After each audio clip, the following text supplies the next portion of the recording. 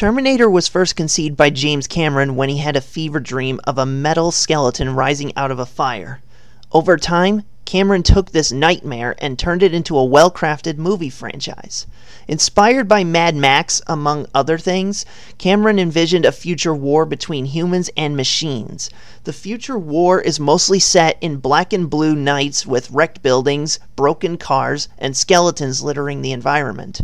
Among the devastating landscape marched shiny chrome machines of all shapes and sizes the human shaped endoskeleton Terminators, the HK tanks, the HK aerials, and even mini hunters, just to name a few. Each machine was armed with phase plasma weapons that shot purplish pink lasers across the black and blue landscape. This vision was something so unique that audiences couldn't get enough of it. They got to see snippets of it in Terminator 1 and even one brief kick ass shot of the opening in Terminator 2. For years, people have demanded an entire movie within this future war that James Cameron envisioned. While the vision would remain the same between movies and even the T2 3D Battle Across Time attraction, there would be some changes and additions in each installment. You can even tell there are slight changes between 1 and 2 because the HK tanks in T2 have two plasma barrels, whereas the ones in T1 only had a single barrel.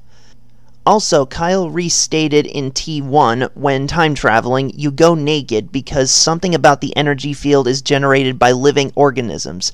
Therefore, nothing dead or inanimate can go through.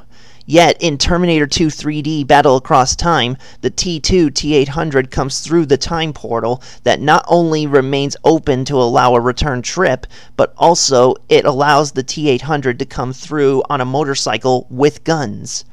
This hints to the possibility that with each trip made to the past to change things, Skynet learned from the mistakes because changes made to the past show up on historical records that initially were lost during the war, and thus Skynet improved with each timeline.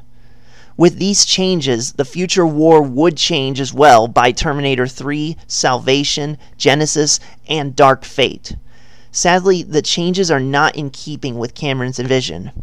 The HK aerials and HK tanks in Terminator 1 and 2 are very different in terms of design in Terminator 3 onward.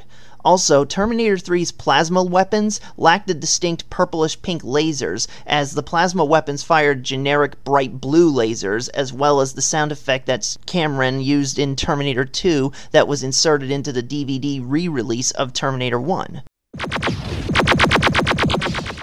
In Salvation, everything was bright and tan as opposed to black and dark blue, and the shiny chrome hyper alloy machines are dirty steel gray.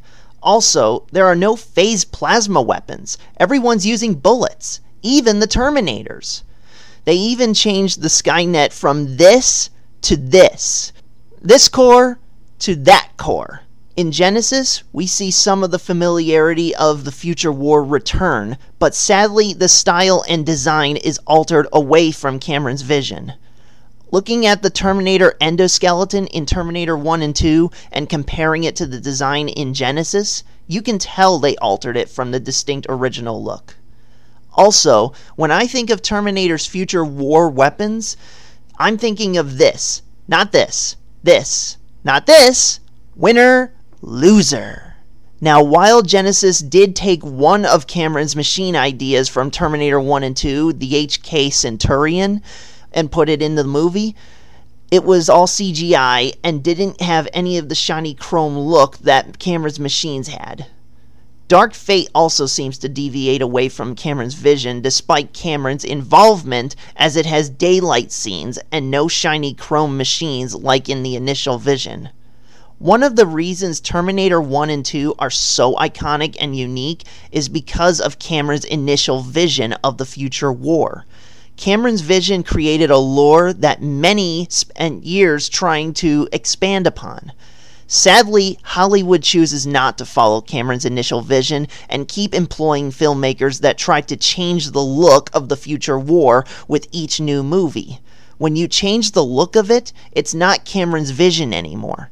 Cameron's vision of the future war is what people associate with Terminator, and anything that doesn't resemble it is not Terminator, even if the name Terminator is on it. Cameron's vision of the future war is what I think of when I think of Terminator. The black sky with the dark blue horizon, the shiny chrome machines tearing through the dark wasteland, the distinctly designed phase plasma weapons that fire purplish pink lasers. Hell, even the distinguished sound effects of the phase plasma rifles from T2 that got put into the DVD re release of Terminator 1. If a Terminator movie doesn't have any of these, I'm not watching it because it doesn't respect Cameron's vision of the future war, and by extension, doesn't respect the lore. As fellow YouTuber overlord Dictor Van Doomcock would say, without respect, we reject. And you can bet on that.